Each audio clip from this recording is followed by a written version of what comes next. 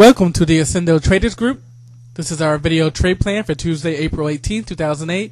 AccendoTraders.com, effective trade plans delivered daily. And by now, you guys know what we do each day as our routine of preparing for our next day, preparing our trade plan for tomorrow. There it is. Today on the market, what can we say? Wachovia, Wachovia, Wachovia, Wachovia. Just took the market down and uh, took no prisoners. Um, and it was interesting because they expected 40 cents positive and they actually came in at negative 17 cents. So they really missed earnings, sort of like the GE earnings on Friday. And you can see the retail sales numbers actually top estimates, but that's because the gasoline prices r- rose so much. They were actually flat. Seven out of ten major sectors finished in negative ter- territory. Energy was one of the sectors that did well. There was a lot of talk in uh, Ecuador wanting to take over their oil companies. Um, the Dow was down 23 points, the S&P 500 was down 4 points, and the Nasdaq was down 14 points. On the earning calendar, uh, we've already said it. Um, today's was basically all about Wachovia Bank. And on the upgrades, we had uh, Bank of America, uh, Pot. We know how much we love Pot. and we had WLT was upgraded. Um, and on a downgrade, we have GE, obviously off of the earnings GE posted on Friday. Tomorrow we've got um, PPI and core PI, so some of the data, the inflation data, uh, starting to come in. So that will certainly have a, a, tone on the market, have an effect on the market. New York Empire State, not that not that much. Really, it's going to be the PPI numbers. Tomorrow we have Johnson and Johnson and USB before the market. And the reason why that's important, especially with USB, is with Wachovia doing so bad. You know, they're going to look at USB today and um, Washington Mutual after the market today. We're also going to look at uh, J.P. Morgan, which comes out on uh, Wednesday. So we'll see what happens there. And there's our buddy CLF Split, still doing nice. Had a great day today. Hey, uh, obviously, take a quick look, and you can see we um, unflagged some stocks, mainly um, oil stocks because they had a big day, and brokerage stocks because they've moved five days down. Um, Amazon giving us a falling three pattern. You can see that it bounced here with the gap up. So uh, conservative alert now to be at seventy-one dollars, and aggressive alert at the uh, falling three uh, confirmation. APA had a great day today. Um, nice bounce. This our alert. Uh, it's moving nicely. Put your alert at 137. The next alert, BTU, kind of hanging out. Still still showing some weakness. If it can close above 6250, that's where you want to go. So raise your alert to today's high. Cat bounced at the 50. We kind of expected that. We needed a retracement day. Um, let's keep our alert below the 50 and see what happens at 74. Um, CNX starting to show some weakness here. Uh, we got a huge bracket trade we're going to do in this one. Below the 20 to fall down to the 50 and we're going to keep our bullish alert at $72. So bearish below the 20, bullish above the uh, 72. CF, very nice, very nice indeed. Um, certainly looks like it needs to go over to the side a little bit, four days up. Needs to be needs to consolidate, but I'm going to keep it flagged because it's something that you need to look at, but it's not a safe entry for tomorrow. Very aggressive to get in tomorrow. Um, CLF, our two for one split play, has just been great, hasn't it? Just been great. So we, have got our interest today. Um, raise your alert to today's high as this continues to just motor, just motoring.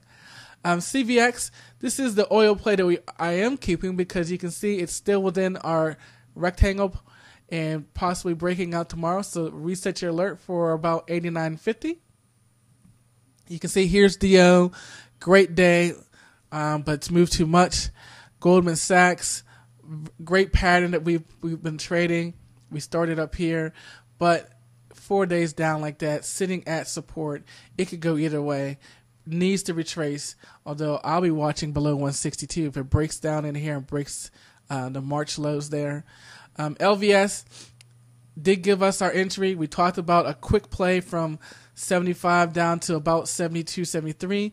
So I would reset my alert if you're not in for 72.50.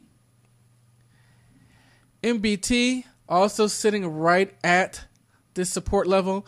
So let's keep our alert there. See if we can push down. Again, we have a quick trade there because it tends to bounce. MOS, just another beast. Great day on on a. This is very bullish to be like this on a down day. So because of that, we'll just keep raising our alerts. MRO, um, it could go either way. We talked about a bracket trade on this one, and it did get above the five. Unflagging it because it can go either way.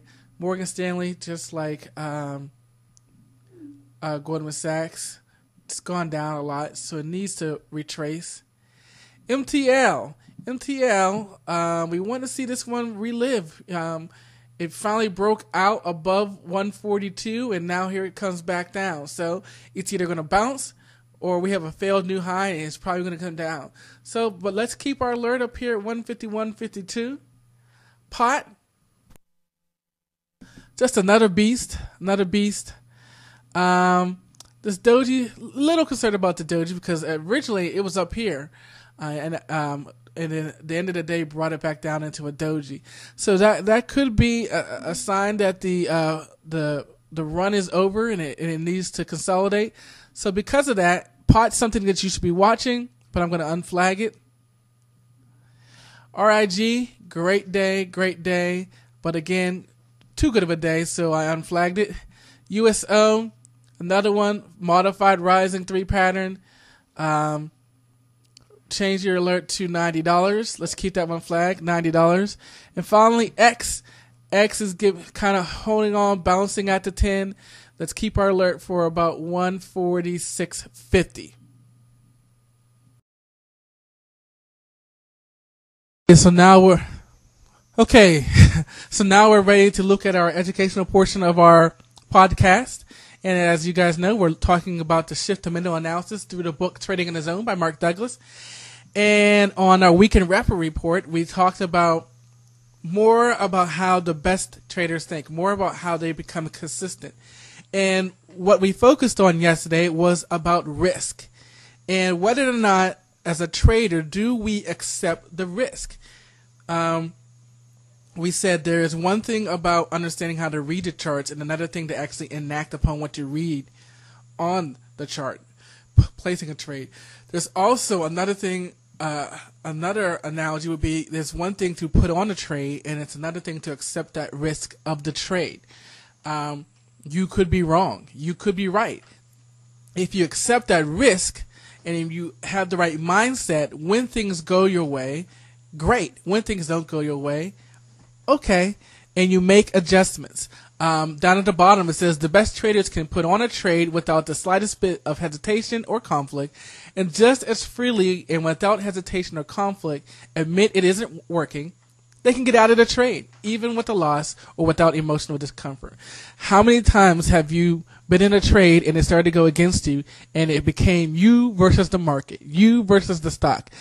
I'm going to hold on because this stock's going to turn around all the indicators say it's going down, or all the indicators saying it's going up. All the indicators are saying it's going the opposite direction that you thought it was going to go.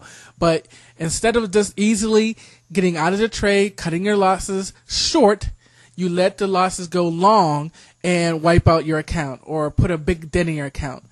The best traders get in and out of trades without hesitation, without conflict, and without emotional pain. Being wrong is just an, a, a an act of what happened. It's just a, uh, an effect, but it doesn't necessarily mean that you know your world is going to come uh, crashing in. So again, as we continue to talk about risk and we talk about the mental side about trading, it's important to understand that you had to first accept the fact that you had to act upon what you see, and then secondly, you had to take responsibility about the risk that when I place this trade, it can go either way. And I can do that freely, knowing that I might be right, I might be wrong. The system will work for me, and whichever happens, happens. So there we go. Download the full version, provide feedback, and as always, trade at your own risk. I'll talk to you tomorrow.